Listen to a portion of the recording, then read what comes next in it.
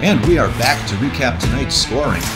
Big 7 1 win for the Green Wave. Storm got started in the first period. Drury got on the board first. After the Green Wave successfully killed off two penalties, there was a face-off to the right side of goaltender Josh Bordeaux.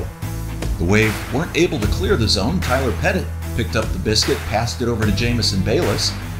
Bayless fed the streaking Ethan Wilson, who had cut in behind the Green Wave defense and made no mistake in giving the visitors the 1 0 lead, 7.20 into the first period. A little bit later on, Tyler Pettit of Drury was called for a high sticking penalty. Just 30 seconds after that, Dave Delisle went to the box for roughing. Green Wave now had a two man advantage. Shane Prusak had the puck along the Drury goal line. Sammy Knight was camped out in the slot and won the battle for the loose puck, notching power play goal and tying the hockey game with just under one minute to go in the first period of play. Green Wave applied relentless pressure in the Drury zone early in the second period. MJ Paulin cut behind the Drury cage and found Trevor Kucheski was taking a beating in the slot. Trevor drilled the puck past Abby Fulls, giving the Wave the 2 1 lead just 53 ticks into the second period. Green Wave's third goal of the game was scored by Sammy Knight, his second of the game. Although the assists were given to Hunter Smith and Matt Garvin on the score sheet, you can clearly see Matt Lavoine, number 20, banking the pass off the boards to Knight, who cruised down the left side of the ice. Much like he did last week against East Hampton, Sammy showed incredible patience, waited for the Drury goalie to commit, deked and tucked the biscuit in the basket for the 3 1 lead. Then, just like they did against Agawam last Wednesday, the Green Wave scored the third of three quick goals to take a commanding 4 1 lead. RJ Grondin fed the puck to Hunter Smith at the point. Smith let a wrist shot fly, and Jake Jurek redirected the puck past the Drury netminder, completing three goals in a span of just 1 minute and 24 seconds.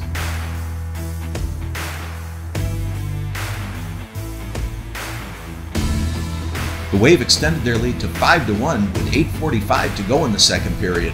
Shane Prusak had the puck behind the Drury net and made a perfect pass to Trevor Kucheski, who had cut in from the high slot and chalked up his second goal of the night.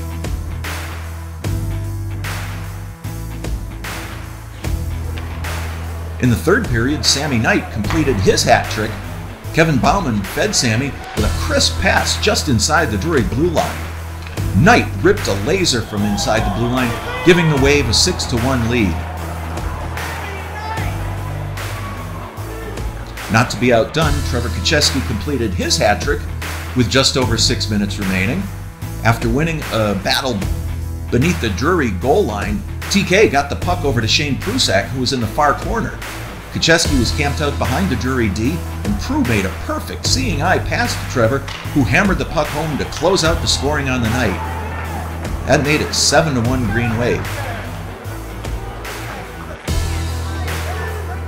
Now at the other end of the ice, Josh Bordeaux stopped 18 of the 19 shots that he faced. The only blemish, that first period Drury goal that stood between him and his second varsity shutout.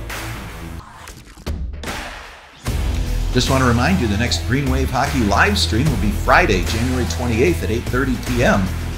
from the Mullins Center practice rink on the UMass campus when the Amherst Hurricanes take on the Green Wave. The following night, Saturday, January 29th, we'll be back at the CMA in Greenfield for 6:30 p.m. when Assabet Valley comes into Greenfield to play the Green Wave. That's all for now. This is Skate Doctor saying good night from Greenfield.